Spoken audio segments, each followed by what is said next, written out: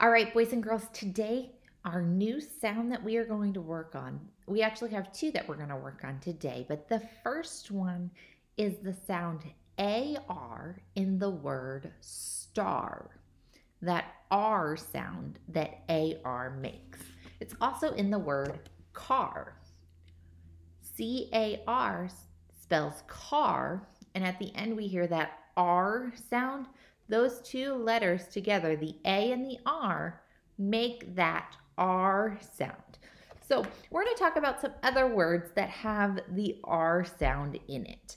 Um, so what I want you to do is I want you to listen with your ears and then when you hear a word that has the R sound, and I want your fingers to twinkle like stars. If you hear the R sound, we're going to twinkle like stars, okay? All right, the first word, far. Does far have the A-R R sound in it? It does. All right, bake. Does bake have the A-R R sound in it? No, it doesn't. All right, car. Does car have the R sound in it? It does. All right. Fan. Does fan have the AR sound in it? No, it doesn't. All right. Bar. Does bar have the AR R sound in it? Does. Good job. All right. And comb. Does comb have the R sound in it? It doesn't. All right. Those words that I named far, bar, and car all had that R sound at the end of the word. Now I want you to listen for words that have the R sound in the middle of the word, meaning they have a letter at the beginning and a letter at the end, or maybe one letter or two letters at the beginning or the end of the word, and then they have that AR that says R in the middle. So I want you to listen again when you hear it, make your twinkling finger stars and show me that you know that you hear that sound. Number one, dark. Dark. It does. Good job. All right. Number two, barn. Barn. It does again. Yeah. Good job. All right. Number three, start. Start. That one's a little bit harder, but it does. It has the R sound in it. All right. Number four, dirt. Dirt. It does not. Good job.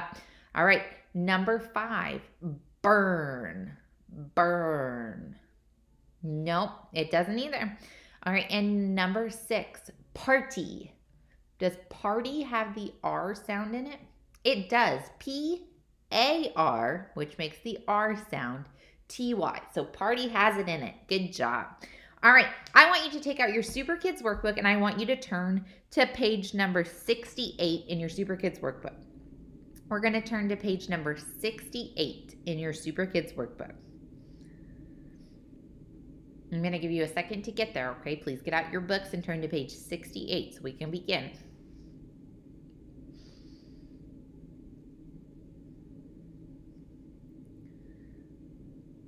All right, now on page 68, at the top of the page, it has three words art, car, and park all of those words have the R sound in them.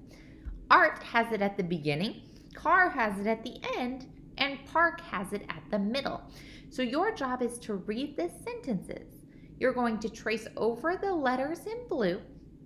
In the blank spaces, you are going to use our sound for today, A-R. In those blank spaces, you're going to write A-R. And then once you have done that, I want you to read the whole sentence. So let's do the first one together. The blank has a blank. When we put those AR letters in the first word and that last word, we have the farm has a barn. So I'm going to trace over the letters in blue, write my AR in both blanks, and then I'm going to read the sentence. You may do that now.